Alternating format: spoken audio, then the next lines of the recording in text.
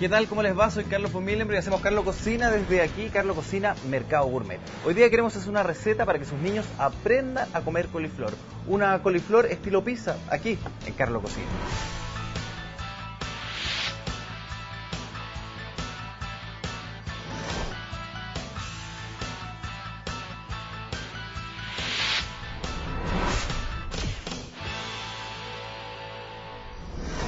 Vamos a elegir una buena coliflor y en las cosas que ustedes se tienen que fijar cuando elijan una coliflor es que la, coliflor sea bien, bien compacta. Si se fijan, tiene que ser bien blanca. Si tuviera eh, espacios muy negros, quiere decir que tiene algún hongo entre medio y deberán descartarla.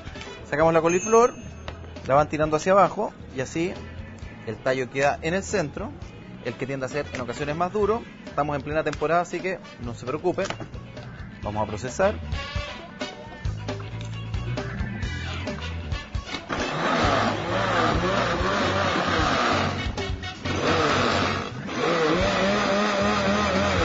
Ya está molida la coliflor y lo que pueden hacer en este minuto es darle un grado de condimentación. Vamos a poner un poquito de pimienta, solo para dar un toquecito, con pimienta de colores, un poquito de sal de cahuil y también pueden poner un poco de orégano.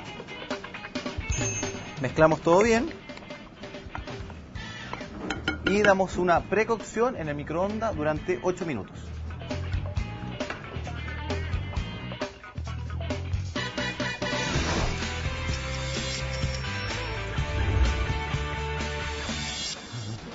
Sacamos de microondas.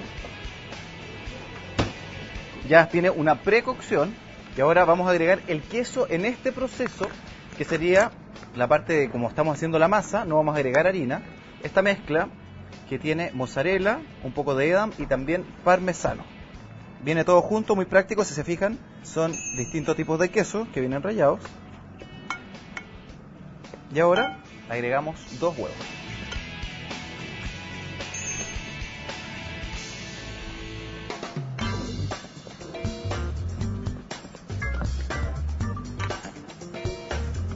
Y aprestamos hacia atrás y tenemos lista nuestra masa.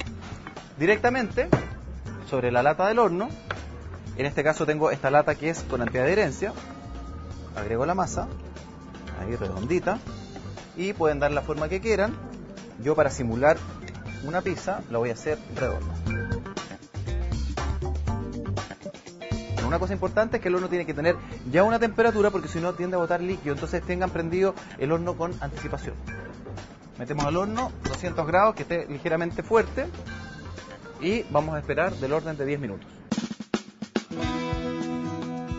Vamos a cortar el tomate para ponerlo fresco arriba.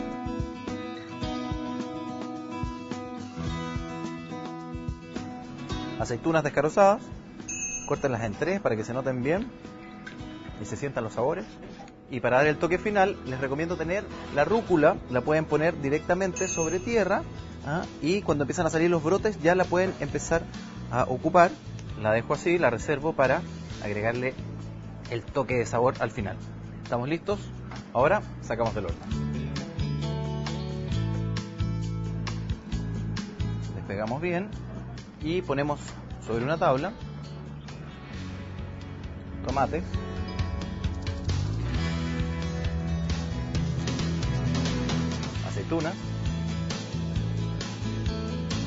Y terminamos con el toque de rúcula baby recién cortada. Una receta muy rica, sabrosa para que prueben en familia que vio aquí en Carlos Cocina.